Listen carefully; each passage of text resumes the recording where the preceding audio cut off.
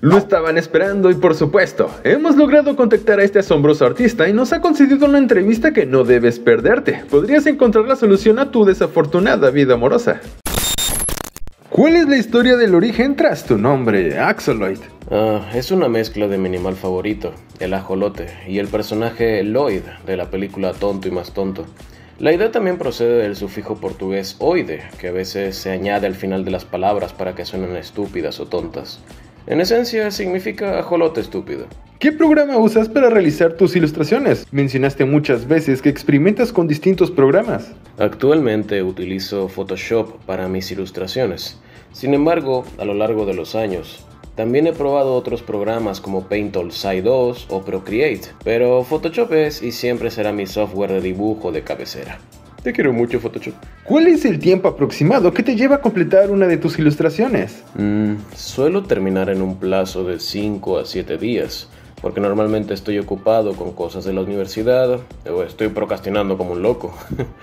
Pero en cuanto al número de horas que dedico realmente a dibujar, creo que ronda las 6 horas, dependiendo de la complejidad del arte. ¿De dónde surgieron las ideas para tus OCs? Ah, para mi OC principal, Zoe, simplemente combiné todo lo que me gusta. Una cola, orejas puntiagudas, cuernos en la frente y esclerótica negra.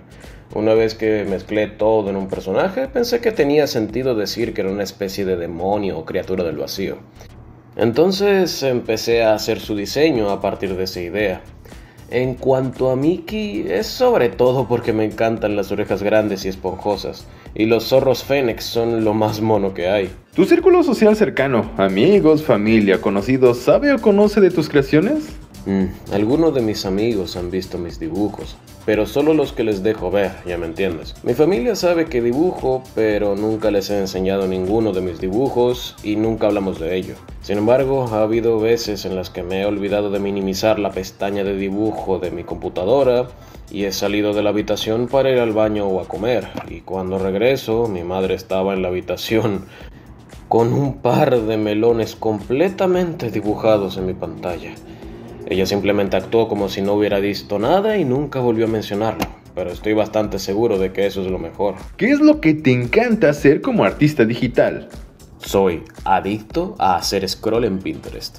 Me paso como dos horas simplemente desplazándome y guardando cada imagen que parece interesante, por si me ayuda con futuras ideas para dibujar. Otra cosa que realmente me gusta hacer de un artista digital son las conexiones que he hecho. Formo parte de varios servidores de Discord de arte, donde he conocido a la mayoría de mis amigos más queridos, que realmente me han ayudado a mejorar. Puedo afirmar con rotundidad que habría abandonado el arte si no fuera por estos servidores, y por todos los comentarios y la ayuda que me presta la gente de la comunidad artística. ¿Has pensado en recurrir más en el contenido Not Safe for Work? Mm, me gusta dibujar cosas lascivas y no safe for work, pero la mayoría son más que nada sugestivos porque me parecen más atractivos que el acto directo. Una vez intenté publicar una versión más 18 de un dibujo y me di cuenta de que mucha gente dejó de seguirme por ello. Así que lo hago de esa manera para evitar que eso me afecte negativamente a mi cuenta.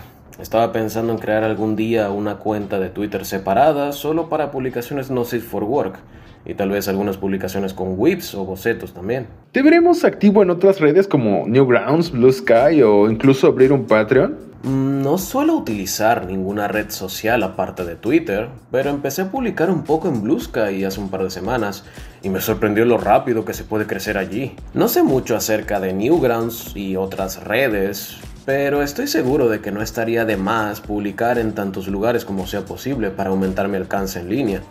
Sin embargo, probablemente no lo voy a hacer porque pues soy muy perezoso. Además, una vez que tenga una comunidad más estable como artista digital, disponga de más tiempo libre y mejore mis habilidades de dibujo, estoy considerando la posibilidad de iniciar un Patreon, aunque creo que no sería capaz de producir suficiente contenido para pues satisfacer las expectativas de una red de suscripción de pago. Sería una buena manera de recibir apoyo financiero sin dejar de ser capaz de dibujar lo que quiero y además de dar a la gente lo que quieren. ¿Podrías nombrar tres artistas a los que admires? Hmm, Saido Whip es uno de los artistas que conocí en un servidor de arte de Discord. Y no solo es increíblemente hábil, sino también es la persona que me ayudó a mejorar a lo largo de los años con comentarios sobre mis dibujos.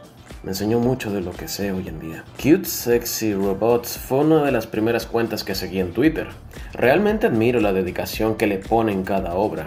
Y mi plan original era desarrollar un estilo artístico similar al suyo, sin embargo, acabé decantándome por un estilo anime más caricaturesco. Y como último podría mencionar a Min Luna, que además del increíble estilo, también me encanta cómo este artista hace que los personajes se sientan 3D en cada uno de sus dibujos, sin dejar de mantener un estilo de pintura simplista. La capacidad de simplificar las cosas y usar eso a su favor realmente me hace apreciar el arte aún más. ¿Qué consejo le darías a los recién llegados al mundo del arte not safe for work? Simplemente dibuja lo que quieras, siempre que no sea delictivo, obviamente. Prepárate para exponerte a todo tipo de cosas. Además, dedicar unas semanas al estudio de la anatomía te será de gran ayuda si te decantas por el dibujo no for work. ¿Tienes algunas palabras que quieras compartir con tu comunidad? Muchísimas gracias por todo el apoyo y por mantenerme inspirado para crear más arte. Todo vale la pena una vez que decides dedicarte a hacer lo que te gusta. También, por favor, hacedme saber si queréis cosas más picantes, puedo intentar trabajar en ello. Muchísimas gracias por la invitación, Endu. No esperaba aparecerme por acá otra vez. Ah, y gracias a todos por ver este video. Nos vemos pronto. Agradecemos profundamente a Axoloid por su cooperación a proporcionar información valiosa para la realización de este video y la entrevista. Le deseamos el mejor de los éxitos en su camino como artista digital y convertirse tarde o temprano en una leyenda. No lo olviden, todos empezamos con un sueño y un primer seguidor que nos dio su voto de fe con el corazón. Asimismo, invitamos a la audiencia a darle un vistazo y seguirlo en sus redes. Podrían llevarse más de una deliciosa sorpresa. Es todo por ahora. Nos estaremos viendo pronto. Hasta entonces. Chao.